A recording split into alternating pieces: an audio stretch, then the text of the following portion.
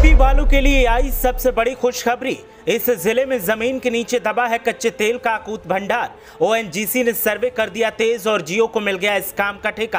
कच्चे तेल के निकलने से मालामाल हो जाएँगे यूपी के लोग और सरकार को भी होगा बम्पर फ़ायदा। जब से पता चला है तब से तेल निकालने का काम हो गया है तेज। देखिए कैसे मिली तेल के अकूत भंडार की जानकारी और कब तक तेल निकालने का काम हो जाएगा शुरू? कैसे आम लोगों को मिलेगी राहत और कैसे सरकारी खजाने में होगा इजाफा? उत्तर प्रदेश की तूती हर क्षेत्र में बोल रही है। और अब यूपी का जलवा ये दिखा रहा है कि ईरान, इराक, सऊदी अरब जैसे ताकतवर देश भी माथा पीट रहे हैं। अब उनकी आर्थिक स्थिति का क्या होगा, ये सोच सोच कर परेशान हो रहे हैं। जो देश अब तक भारत के आगे इतरा रहे थे, अब वो घुटनों के बल आ गए हैं और उत्तर प्रदेश इतरा रहा है। भारत सरकार उत्तर प्रदेश के दम पर सीना ठोक रही है। उत्तर प्रदेश के लोगों की किस्मत अब चमकने वाली है और उनके वारे न्यारे होने वाले हैं। पेट्रोल, डीजल की महँगाई की मार झेल रहे पूरे हिंदुस्तान हिंदुस्तान के लिए जहाँ अच्छी खबर है तो वहीं उत्तर प्रदेश के लिए तो ये लॉटरी निकलने जैसा है।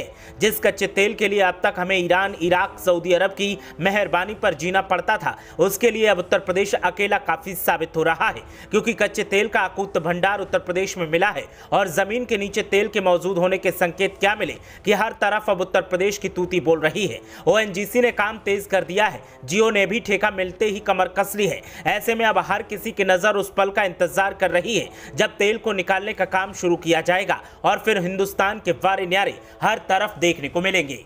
पिछले 75 सालों में तेल की खपत 10 गुना बढ़ चुकी है। हैरानी की बात यह है कि लगभग 200 देशों में, Iran, Iraq, Saudi Arab, Venezuela और रूस के पास कुछ ही देश ऐसे हैं जहाँ तेल का भंडार मौजूद है।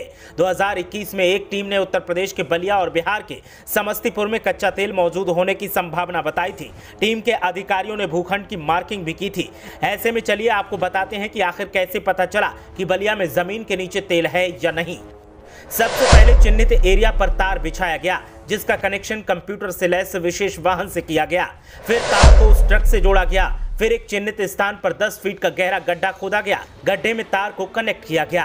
फिर गड्ढे में विस्फोट से धमाका किया गया। विस्फोट से धरती में कंपन हुआ तो तरंग ज़मीन के नीचे तक गई।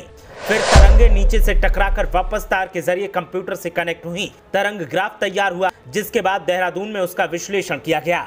विश्लेषण में सामने आया कि कच्चे तेल की मौजूदगी कहाँ पर है। वहीं इस पूरी प्रक्रिया के बाद अब फिर 2023 में ओएनजीसी आगे की प्रक्रिया को पूरा करने जा रहा है। यूपी के बलिया ज़िले में नदी के तटवर्ती क्षेत्रों में ज़मीन के नीचे कच्चा तेल मौजूद होने की संभावनाएँ जताई जा रही हैं। ओएनजीसी इसकी पुष्टि के लिए सेस्मेसिक सर्वे और थ्री मैपिंग करवाएगी। इसके बाद आगे की जाँच होगी। सेस्मेसिक सर्वे के डाटा पर भूगर्भ वैज्ञानिक उसकी जाँच करेंगे और भूगर्भ वैज्ञानिकों के सर्वे के आधार पर ही आगे का काम शुरू किया जाएगा। वैज्ञानिकों की टीम तैयार है और सर्वे का दौर जारी है। आपको बता दें कि दरामपुर मुबारकपुर गाँव के पास सर्वे करने वाली टीम और मजदूर डेला डाल चुके हैं। कंपनी आधुनिक मशीनों का पूरा सिस्टम लगा रही है। इस काम के लिए अल्फ़ा जियो कंपनी को ठेका दिया गया है। एक साथ कंपनी सैकड़ों स्थान पर खुदाई करेगी। इनकी मॉनिटरिंग ओ के आला अधिकारी करेंगे। 2020 के आसपास ओएनजीसी ने गंगा तमसा के तटवर्ती क्षेत्र में सर्वे किया था। अब उसके आगे का सर्वे होने की बात कही जा रही है। वहीं फेफना थाना क्षेत्र के दरामपुर, मुबारकपुर और सागरपाली में ट्रकों से मजदूर और भूमि ड्रिल में प्रयोग होने वाली मशीनों के साथ कैंप किया गया है। इंजन, बल्ली और पाइप को दुरुस्त किया जा रहा है। हर किसी को इंतज़ार उस पल का है जब ज़मीन से तेल निकाला जाएगा और उस तेल का इस्तेमाल पूरा देश करेगा। वैज्ञानिकों को पूरी उम्मीद है कि आने वाले दिनों में उत्तर प्रदेश का डंका क्रूड ऑयल क्षेत्र में भी बजेगा और देश की आर्थिक स्थिति में उत्तर प्रदेश सबसे बड़ा योगदान देगा। ब्यूरो रिपोर्ट, मीडिया हलचल।